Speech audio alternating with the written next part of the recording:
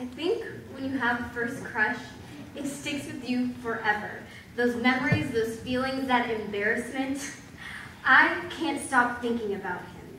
Even if my thoughts aren't clear, he's the only thing that is not smudged. But the thing is, I have always just been a sister to him. Nothing more and nothing less. And you think by now, after two years, I wouldn't be so indulged with him, but there's something about the boy. Something that makes my tongue tingle and my heart feel like a balloon. And I say things that I couldn't and I wouldn't say if I didn't have him. I can't think thoroughly if I don't have his watercolor eyes and his porcelain skin, regardless of the drugs. And he has a bad head on his shoulders, but I don't really care.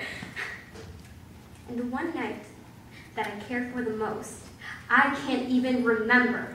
And he says it was just a crazy night, a crazy mistake.